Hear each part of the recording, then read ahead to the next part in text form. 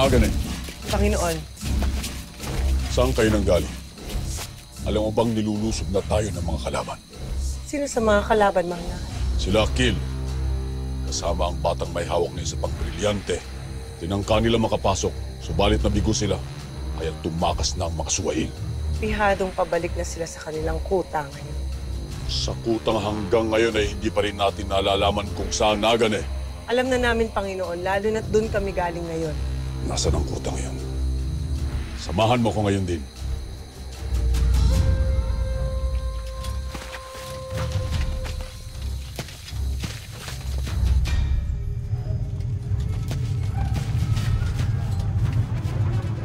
Habaging Emre. Anong nangyari dito? Pinunong Imaw! Aliran na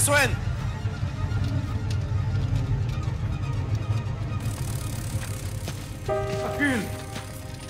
Tulo Imaw, Wantok, ligtas kayo. Pinunong Imaw. Anong nangyari dito? Sinasabi ko na nga ba't dito ko lahat kayo maaabutan? Huwag kayong lalapit.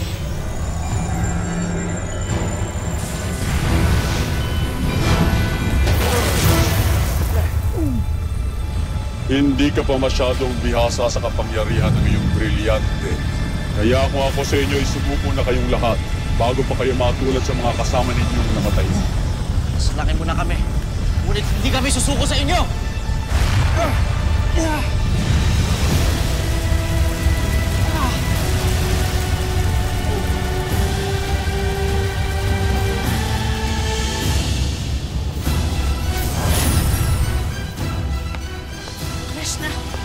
Ikaros! Ikaros, gumising ka! Mahal na Reyna. Nasaan si Amihan? Paano siya nakatakas?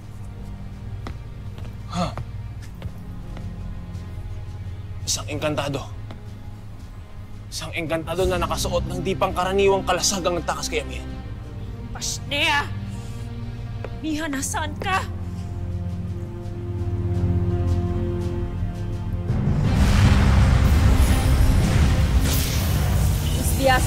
Biyasa naman ako ganito aking yan.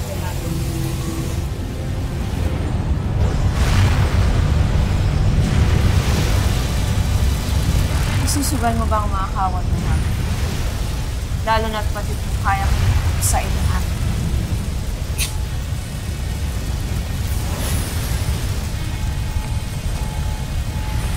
Hindi ito ang huli nating pagkikita, Mia.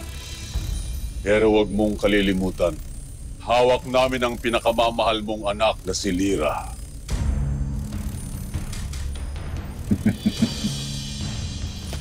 Tayo na.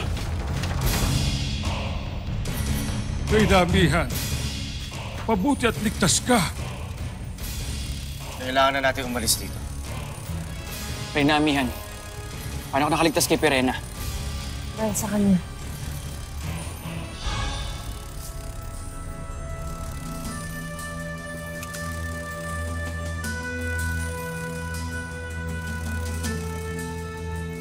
Prinsipe Ibrahim, ikaw si Kalasag.